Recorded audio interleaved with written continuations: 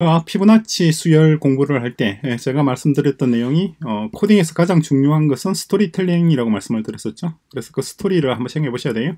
여기 있는 이 퀴즈들을 지금 현재 여기는 많이 있습니다. 많이 있는데 한 10개 정도 있어요. 그 중에서 한 5개 정도만 여러분 복사를 해서 가져오시면 돼요. 5개나 4개 정도 아, 5개 좋겠어요. 5개 가져오시면 됩니다. 보시면 문제가 있고 그리고 보기 1번, 보기 2번, 보기 3번 정답은 C 문제, 보기, 보기, 보기, 정답 이런 식으로 구성이 되어 있어요. 그죠? 자, 이런 데서 문제의 문항은 어, 지금 현재 제가 10개 정도를 넣어두었는데 10개 좀 더 될 것 같네요. 어, 20개 정도 되려나? 되는데 여기서 어, 몇 개만 가져오게 될 거고 그리고 나중에 또 좀 문항 수를 좀 변경할 수도 있을 거예요. 그래서 스토리텔링이 가장 중요하다고 했었는데 어떤 스토리를 우리가 구성할 것인지를 한번 생각을 해보아야 됩니다. 어, 첫 번째 티처이죠. 티처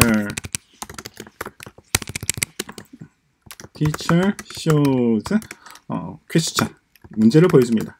그죠? 어, one by one입니다. one by one.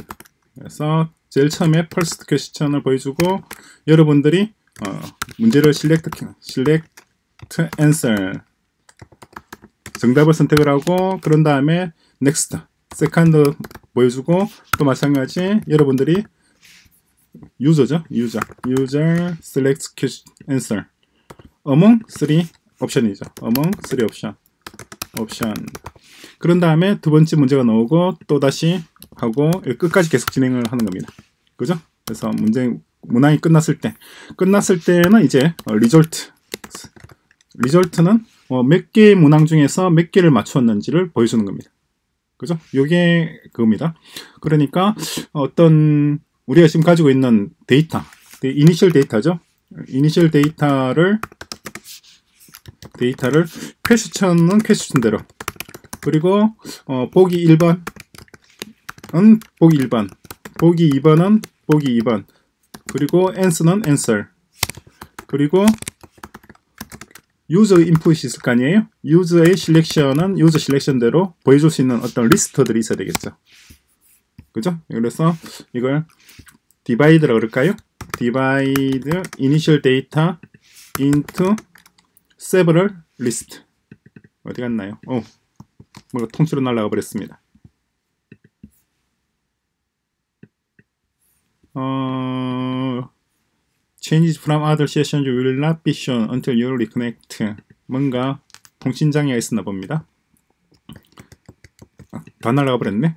자, 어쨌거나 어, divide initial data, initial data를 into several category, several categories. 여러 카테고리로 나눠져야 돼요. 나눠주게 되는데 그 카테고리들이 좀 전에 말씀드렸던 question은 question대로 뭐 옵션은 옵션대로 이렇게 쭉쭉 나눠주는 겁니다. 다섯 개 카테고리죠 아마 다섯 개.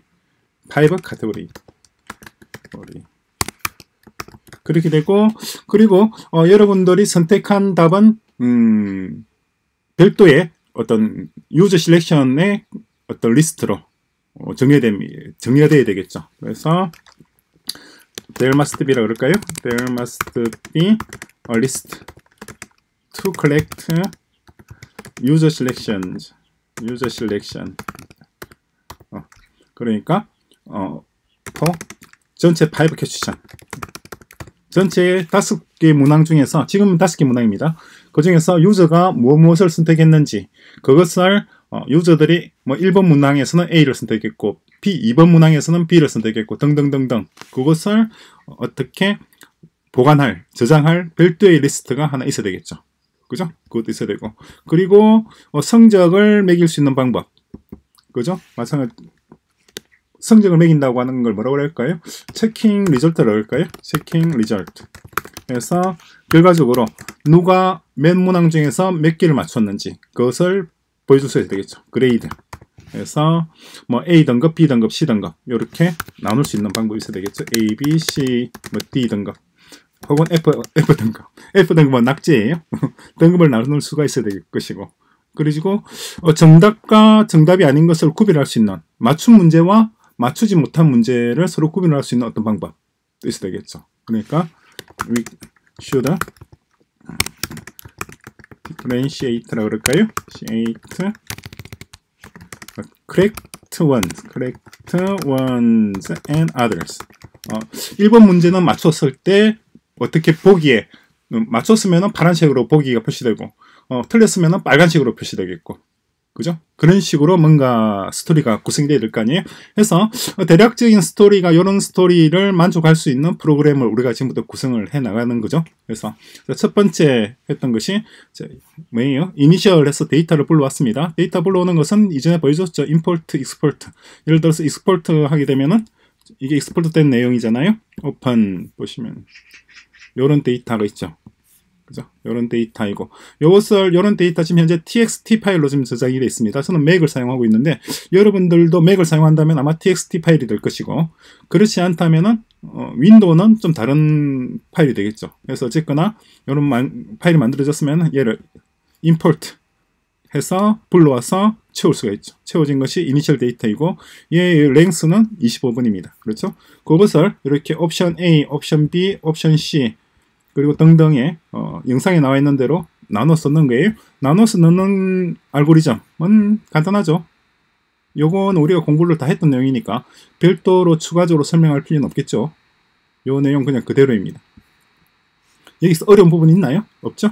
그래서 이제 어, 이렇게 데이터를 준비한 다음에 그런 다음에 그런 다음에 하나씩 하나씩 보여주는 거예요. 다시 놓겠습니다. 자, 티처 들어서 어, teacher 그래서 플레이. 아 플레이 플레이 플레이 플레이 플레이. 음 예 플레이.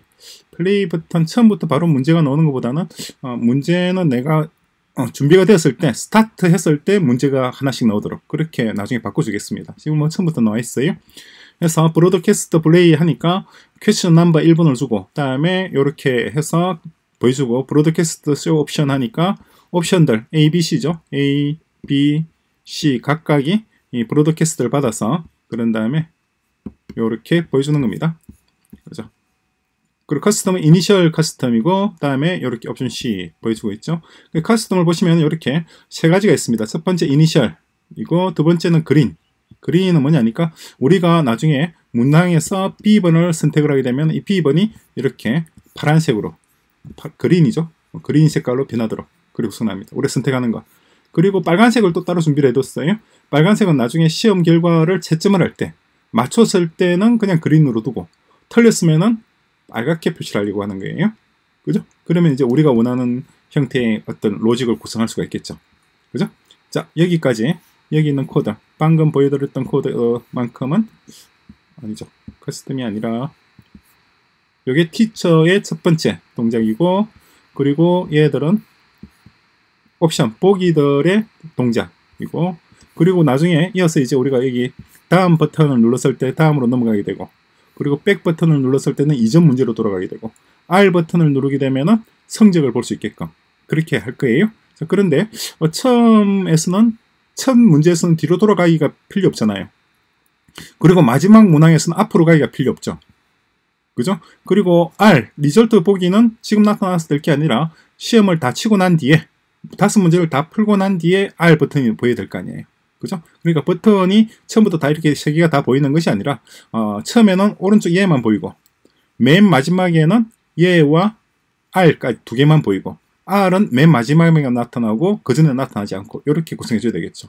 한번 지금 코드 구성한 거 백그라운드는 이렇게 되어 있고 그죠? 백그라운드에 지금 이 로직을 넣어뒀어요. 마지막에 broadcast이고 그리고 teacher는 이러한 logic이고 두 번째 옵션 A, B, C는 다 이런 logic인데 여기서 여러분들이 공부하지 않은 건 아무것도 없어요. 이미 다 아는 내용들입니다. 자, 여기까지 준비를 하시고 그런 다음에 바로 여러분들 스스로 한번 어, 얘만 처음에는 맨 오른쪽 맥만 나타나고 맨 마지막 문항에서 있는 이 두 개만 나타나고 R은 맨 마지막에서만 나타나게끔 그렇게 한번 코드를 구성해 보시기 바랍니다. 바로 다음 에피소드에서 이어서 진행을 하겠습니다.